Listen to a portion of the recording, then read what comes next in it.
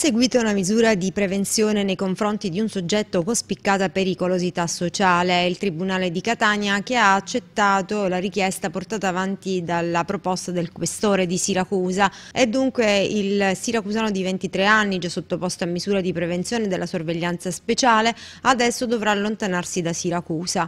L'uomo infatti risulta facente parte di un gruppo criminale operante tra via Italia 103 e via Immurdini, contigua al clan Bottaro Attanasia, per conto del quale gestisce il traffico di stupefacenti. In diversi episodi ha elargito anche pesanti minacce rivolte nei confronti del personale di polizia. Il giudice gli ha predisposto di allontanarsi per due anni dal comune di Siracusa, di fissare stabile dimora presso un'altra città ove trovarsi un lavoro onesto e di versare a titolo di cauzione 3.000 euro presso la cassa delle ammende.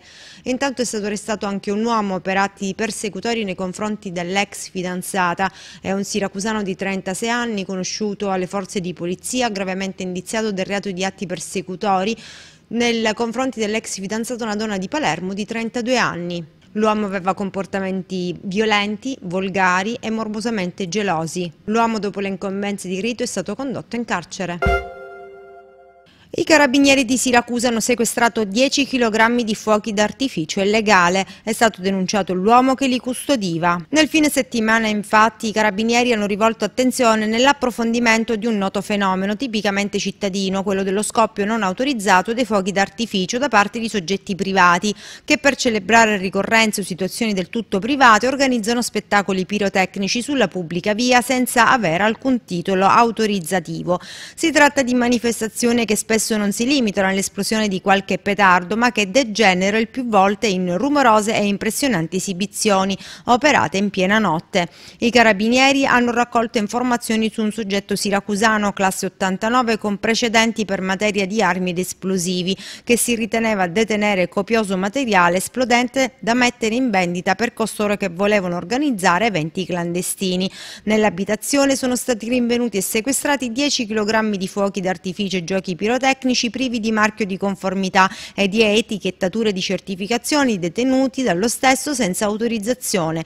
Dopo il sequestro e la denuncia i carabinieri stanno ora effettuando approfonditi accertamenti al fine di poter ricostruire la filiera dell'approvvigionamento del materiale e tentare di stroncare il malcostume dello sparo serale dei fuochi d'artificio per futili motivi.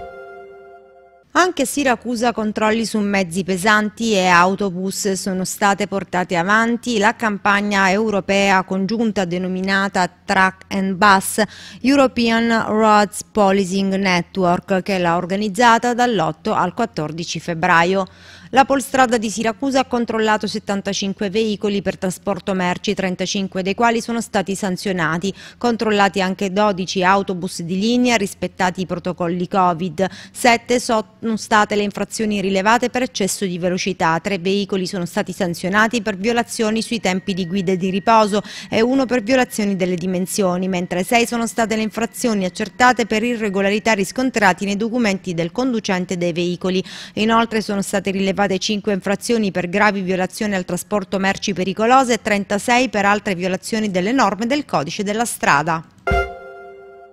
L'ospedale di Maria Diavola ha reso possibile la speranza di vita per chi è in attesa di un trapianto, grazie alla sensibilità dei familiari di un donatore di 66 anni deceduto nel reparto di rianimazione diretto da Di Stefano, dove era ricoverato per una lesione cerebrovascolare. Dopo il consenso e il completamento delle procedure avviate, L'equipe chirurgiche del trapianti di fegato di Napoli e del trapianto di reni di Catania hanno raggiunto il blocco ospedaliero dell'ospedale Avolese dove hanno proceduto al prelievo di fegato e reni mentre l'equipe dell'orfatmologia dell'ospedale Umberto I ha prelevato le cornee che sono state destinate alla banca degli occhi. La Sicilia da oggi è diventata zona gialla, l'intervento da parte della Regione per comunque richiamare alla cautela e al rispetto delle regole per non intercorrere di nuovo a sanzioni di colore arancione o rossi che hanno contraddistinto la nostra Regione nelle ultime settimane. Il dato rimane comunque positivo, quello relativo ai contagi giornalieri di Covid-19. L'ultimo bollettino della Regione parla di 479 casi con 24 24 decessi e ancora per la provincia di Siracusa soltanto 34 nuovi casi in più rispetto al giorno prima. E intanto anche in Sicilia si espandono i casi di variante inglese e in provincia di Siracusa parte la campagna di vaccinazione AstraZeneca. Interviene l'ex presidente della provincia regionale Oggi Libero Consorzio Nicola Bono. L'onorevole parla del sequestro del carcere borbonico di Siracusa effettuato dai carabinieri della sezione per la tutela del patrimonio culturale che hanno eseguito il sequestro preventivo dell'edificio monumentale sede dell'ex carcere sito in Ortigia. Il provvedimento è stato disposto dal GIP del Tribunale di Siracusa su richiesta della locale procura. L'attività infatti di indagine ha consentito di verificare e documentare lo stato di di abbandono dell'immobile e il grave deterioramento determinato dalla persistenza o omissione dei lavori necessari alla messa in sicurezza e all'adozione di qualsivoglia provvedimento volto ad evitarne il degrado i suoi proluoghi hanno permesso di verificare danni consistenti ed elementi strutturali che rendono attuale il pericolo di crollo. L'ex presidente della provincia Nicola Bono parla di un immobile che fu trovato al suo insediamento in uno stato di degrado e che con la disponibilità di un milione di euro concessa con la legge del terremoto di Santa Lucia si mise in sicurezza il tetto e pochi altri elementi strutturali dello storico immobile. I lavori furono realizzati nel giro di pochi mesi, dice Nicola Bono, ma l'aspetto più grave è la mancanza di una definitiva destinazione d'uso dell'immobile che doveva essere fatta al tempo dal comune di Siracusa che invece non si è espresso perché la provincia aveva presentato la richiesta di trasformarlo in un hotel a 5 stelle per poter offrire l'immobile con proposte di restauro e riuso quale col sistema del project financing e quindi a carico del soggetto che si sarebbe aggiudicato la realizzazione del restauro ma nel marzo 2009 il comune decise di respingere tale modifica. Il carcere doveva essere uno spazio culturale polivalente, ma Nicola Bono sottolinea che non meno di 25-30 milioni di euro si sarebbero dovuti procurare per poter portare avanti questa iniziativa. Alla luce del sequestro operato dall'autorità, che è la prova del raggiungimento del punto di non ritorno, occorre che scatti da parte della cittadinanza e delle istituzioni, in primo luogo il comune di Siracusa, chiude l'onorevole Nicola Bono, l'impellente esigenza di difendere con ogni mezzo l'immobile storico, a partire dall'immediata revisione delle scelte finora effettuate e a correre a ripari. Presto la ripavimentazione della Marina. Si è fatto infatti un sopralluogo scorsa settimana e intervengono sulla questione il sindaco Italia e l'assessore Granata. Grazie alla disponibilità del governo della regione sarà riqualificata la passeggiata storica che per una parte è di competenza del demanio e versa da tempo in condizioni precarie proprio alla Marina. Ne danno notizia il sindaco e l'assessore che hanno effettuato un sopralluogo con l'assessore regionale alle infrastrutture e mobilità Falcone e con Giuseppe Polini Pollicino dell'ufficio di gabinetto del presidente Dinello Musumeci. La nuova pavimentazione sarà realizzata in pietra di Siracusa e si conta di completare i lavori entro pochi mesi. Il sopralluogo è servito a fare il punto su un intervento più esteso da compiere con un finanziamento della Regione sul progetto dell'amministrazione comunale che riguarderà la villetta, la spiaggetta, il muraglione e l'area della Fontana Retusa, comprese le ringhiere. Francesco Italia e Fabio Granata ringraziano per l'attenzione dimostrata verso la città sia da parte dell'assessore che dal professore. Si aggiunge un altro tassello alla rigenerazione della bellissima marina di Ortigia. La consulta civica di Siracusa lamenta con il suo referente De Simone la mancata partecipazione del comune di Siracusa a progetti finanziati in favore dello sport nei parchi, uno sfregio alle associazioni sportive, sottolineano. Il presidente Damiano De Simone si dice preoccupato per l'assenza di una programmazione che possa rilanciare il settore sport e tempo libero in città. Un problema che si amplifica per la mancata partecipazione del Comune al progetto Sport nei parchi, con la possibilità di ricevere i finanziamenti di 25.000 euro per attrezzare aree specifiche. Una giornata dedicata ai rider per informarli e formarli sui loro diritti e sui loro compensi. Sarà così che la Fit Cisl Siracusa domani aprirà in iniziativa nazionale la propria sede di via Arsenale. L'iniziativa fa parte dell'Open Day organizzato dalla Fit Cisl Nazionale, spiega Alessandro Valenti, segretario generale della categoria. Durante la giornata i rider della provincia potranno raggiungerci nella sede per essere informati sul contenuto del contratto collettivo nazionale logistica trasporto trasporto merci spedizione, unico a regolare il loro rapporto di lavoro e le norme di sicurezza. L'obiettivo è di rendere i rider più consapevoli dei diritti in modo che possano contribuire fattivamente allo sviluppo ordinato del settore.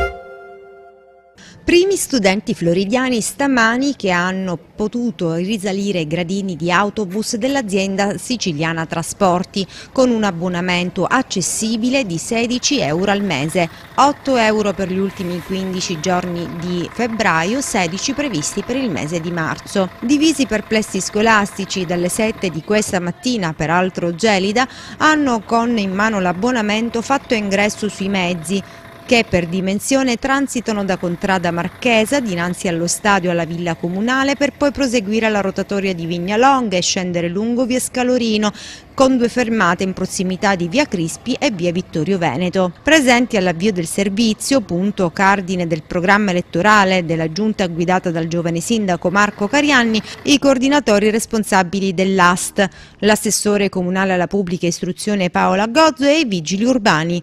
Ricognizione per migliorare il servizio che prevede l'aumento dell'utenza. Sono circa 400 le domande pervenute in comune per adesso, a cui si potrebbero aggiungere coloro che hanno dovuto organizzarsi con gestori privati o con mezzi personali. Stamattina parte finalmente il servizio alunni pendolari, il servizio di trasporto interrotto parecchi mesi fa, un servizio di cui i ragazzi floridiani non usufruivano più.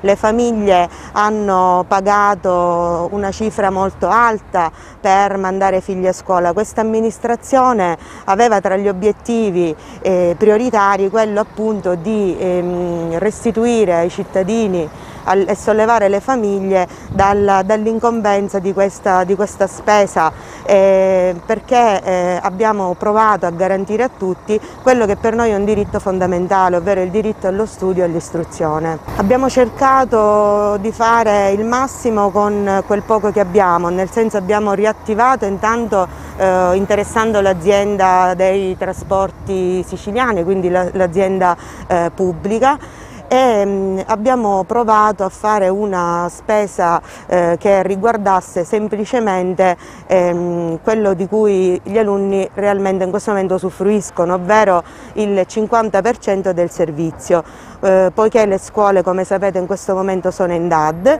Per marzo noi eh, andremo intanto in regime sempre del 50%, quando parlo del 50% intendo 50% di spesa di compartecipazione tra le famiglie e ehm, eh, il comune, l'ente comunale. A marzo si pagherà un costo di 16 euro le famiglie e 16 euro ehm, il comune appunto di Floridia e eh, i ragazzi, comunque ai ragazzi sarà garantito non solo il servizio ma anche le eh, normative Covid di sicurezza, infatti i pullman sono dei pullman capienti e eh, la capienza è appunto ridotta al 50%. Intanto il coordinatore Ast Giaccotto presente stamattina ha sottolineato che sono impegnati 5 pullman da 18 metri divisi per e che accompagneranno gli studenti dinanzi alle proprie scuole. Per il ritorno previste tre fasce di rientro alle 12.30, un giro scuole per raccogliere studenti con uscita anticipata, poi alle 13.20, quindi alle 14.15.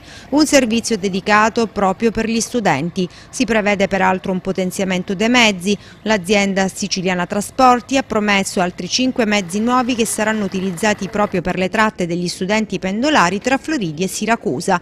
Un lavoro di concerto ben riuscito, dice il sindaco Carianni, tra Comune, Regione e Ast, lavoro che ha permesso il ripristino di un importante servizio.